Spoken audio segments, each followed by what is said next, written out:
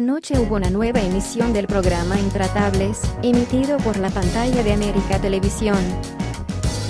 En el programa conducido por Alejandro Fantino, uno de los panelistas tuvo un pequeño desliz. Diego Brancatelli hizo mostrar su enojo con una picante frase. Con esto, dejó en claro el lado de quien está en esta guerra mediática. El debate de anoche giraba en torno al conflicto Brandi con Tardi. Resulta que Julieta Brandi contó en otro medio sobre una llamada que recibió por parte del hijo del ex.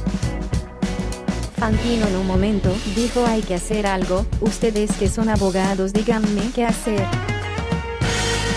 A lo que Diego Brancatelli aprovechó el pie y comentó, sin pensar hay que agarrarlo del cogote, refiriéndose al ex de Brandi. El departamento de la polémica del caso Brandi se detallaron cronológicamente los sucesos que vivió Brandi en torno a la primera estafa por parte de su ex. Recordemos que la misma fue el robo del departamento por parte de Contardi a Brandi. En 2009 Brandi se compró su primer departamento y se va a vivir con su ex y el hijo de él. En 2010 ella queda embarazada y Contardi le propuso comprar algo más grande, a lo que ella accede.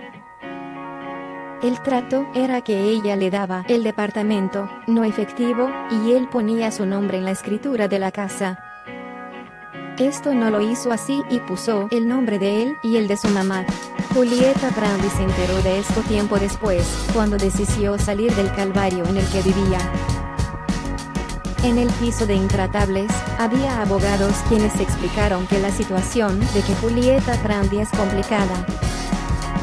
Principalmente se remarcó que lo que le pasó a la conductora es violencia económica.